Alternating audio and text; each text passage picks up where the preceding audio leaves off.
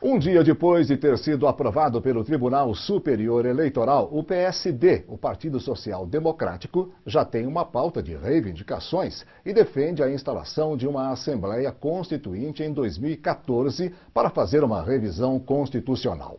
Durante a primeira reunião do PSD, o presidente nacional do partido, Gilberto Kassab, anunciou que o partido pretende disputar o maior número possível de prefeituras nas eleições do ano que vem.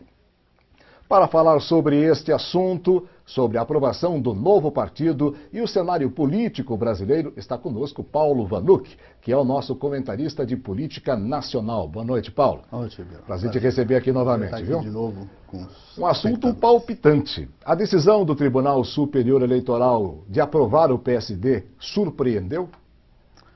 Boa. Ribeiro, surpreendeu. Surpreendeu em primeiro lugar porque uh, a mídia, principalmente os jornais impressos, tem hoje um alinhamento tão exagerado com o DEM, com o PSDB, que noticiaram essas semanas todas que o partido não seria aprovado, que todas as fichas eram falsas, pessoas mortas. Isso não era verdade.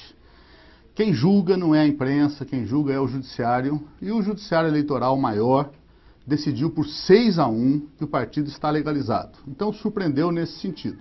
O problema que fica é que é um partido que repete os velhos problemas do sistema brasileiro. Não são partidos com uma proposta. Ele não consegue definir se é de situação ou de oposição, se ele é de centro, de direita ou de esquerda. Ele aglomera pessoas que estão descontentes nas suas siglas e cria uma espécie de ajuntamento. Na falta de uma proposta clara, colocaram essa invenção aí de uma constituinte daqui a pouquinho. As constituintes têm que ser preparadas com muito mais tempo, mais calma e profundidade no debate. Qual a importância do PSD na conjuntura política brasileira, especialmente com relação às eleições do ano que vem?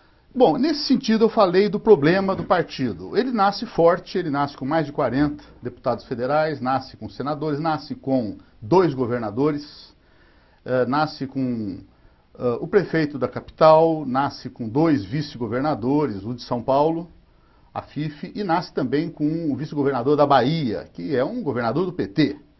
Nesse sentido, o significado maior é de que fragiliza a oposição do DEM, do PSDB, tanto é que o DEM agrediu o processo de formação do novo partido, a ponto de o senador Demóstenes Torres fazer um espetáculo de falta de decoro parlamentar, quando ele ofende um juiz do Tribunal Eleitoral que, simultaneamente, é membro do Supremo Tribunal Federal, Ricardo Lewandowski, um ministro muito respeitável, dizendo pelo seu voto que ele estava praticando lá a tal da dança na boquinha da garrafa. Não é bom para a democracia brasileira esse tipo de coisa. Além da falta de educação. Então, é, além de ser falta de educação. E rigorosamente é, fortalece a presidenta Dilma, porque enfraquece essa oposição, que como manifesto de lançamento do PSD hoje, o site já estreou, é, ele diz que não vem para ser oposição por oposição.